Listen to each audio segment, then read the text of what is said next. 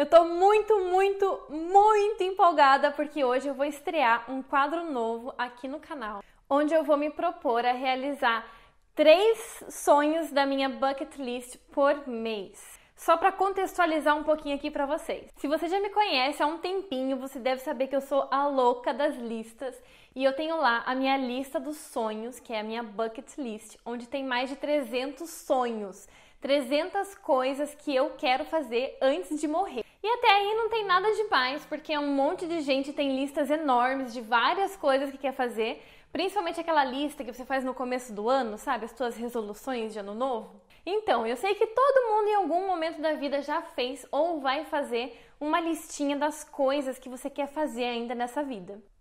Só que muitas vezes a gente cria essas listas e esquece delas. Sabe aquela coisa, ah, um dia eu adoraria ir para o México. Um dia eu queria fazer uma aula de lambada. Um dia eu queria passar uma noite num hotel cinco estrelas com vista para o mar.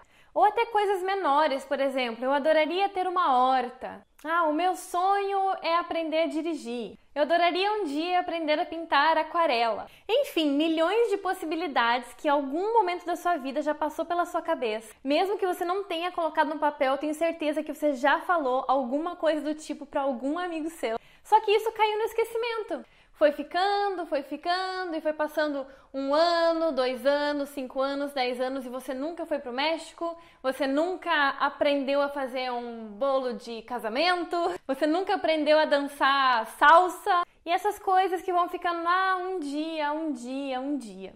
Eu acredito que é tão importante a gente dar atenção para os nossos sonhos e correr atrás daquilo que a gente quer porque é isso que dá alegria para a vida, é isso que é o tempero da vida. São esses momentos de felicidade, é você se desafiar em fazer uma coisa diferente, é você trazer mais cor para sua vida, mesmo que seja em pequenos detalhes. Então, para não deixar que essas coisas caíssem no esquecimento, eu resolvi fazer uma lista com os meus sonhos. A primeira vez que eu criei essa lista foi em 2012, que é a lista dos 101 em 1001. É uma lista de 101 coisas para serem feitas em 1001 dias. 1001 dias dá mais ou menos aí uns 3 anos e alguma coisa. E se você dividir 101 coisas por 1001 dias, vai dar mais ou menos uma média de 3 sonhos realizados por mês. E aí eu continuei fazendo essas listas até que eu criei a minha lista master, que é a minha bucket list. Bucket list é um termo em inglês que significa a lista de todas as coisas que você quer fazer antes de morrer. Então eu tirei esse prazo de 1001 dias, mas eu quero continuar me comprometendo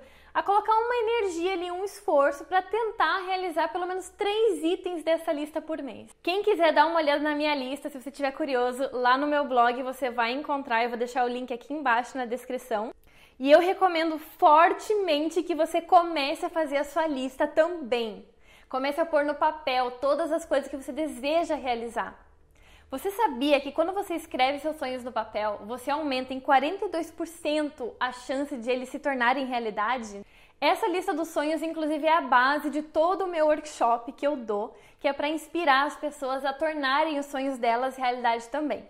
Mas isso é outra história e assunto para um outro vídeo. Hoje eu quero falar desse novo quadro do canal. Além de ser a louca das listas, eu também sou a louca da astrologia e da lua. Então eu amo estudar sobre como os astros estão influenciando a gente diretamente aqui na Terra.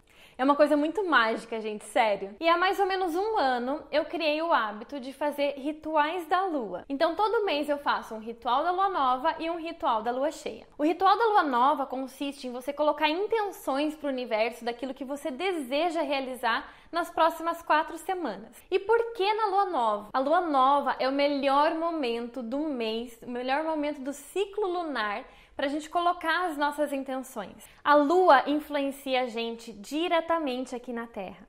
Pensa comigo.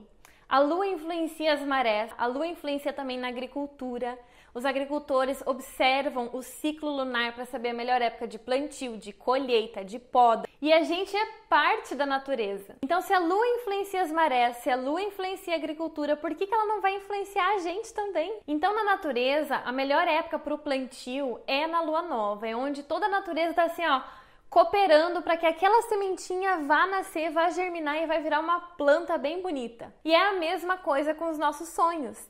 Pensa no nosso sonho como uma sementinha que está ali pronta para germinar. E se você plantar essa semente na época em que todo o universo está mais fértil, por que não aproveitar essa energia da natureza? Então a lua nova é o meu dia preferido do mês. Eu amo quando chega a lua nova, porque é o dia que eu vou fazer a minha listinha.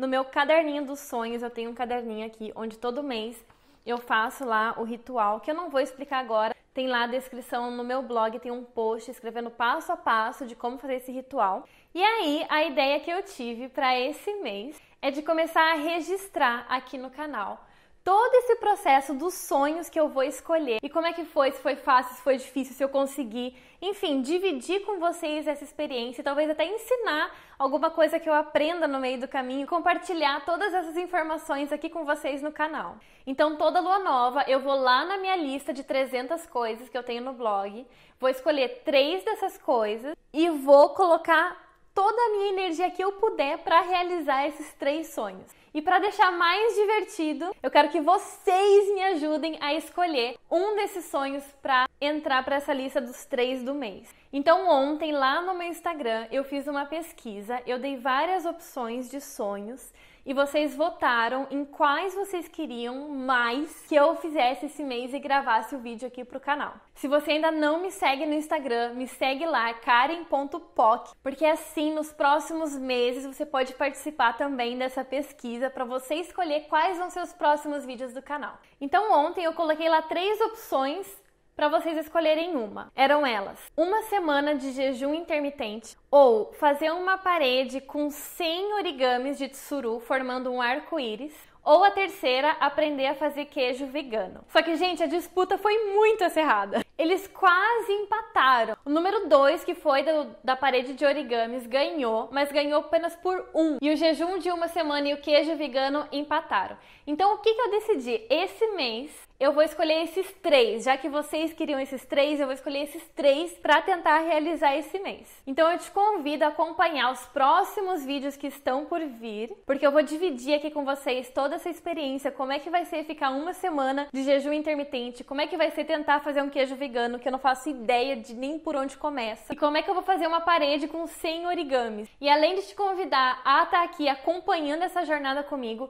mais do que isso, eu quero te convidar a você fazer a tua lista também e se comprometer em todo mês você escolher três itens da sua lista e fazer alguma coisa para tornar eles realidade. Mesmo que seja uma viagem que você quer fazer para o Japão, não significa que você vai viajar para o Japão nesse mês, mas em algum momento ali do teu mês você vai tirar uma hora que seja para pesquisar valor de passagem para o Japão. Não precisa nem ter data, não precisa saber de nada.